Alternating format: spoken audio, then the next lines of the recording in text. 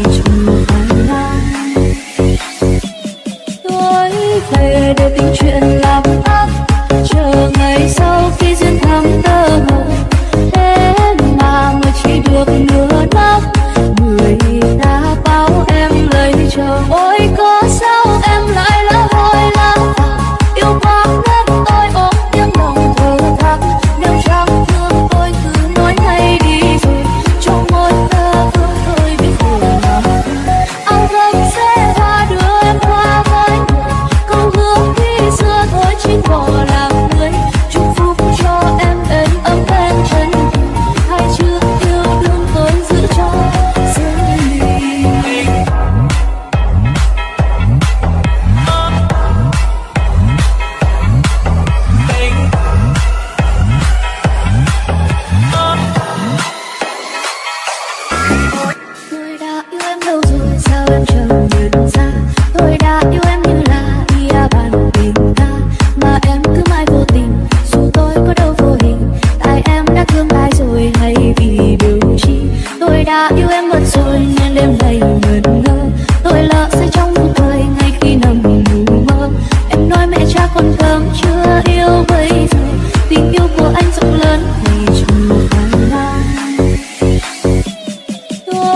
về để tình chuyện làm ác chờ ngày sau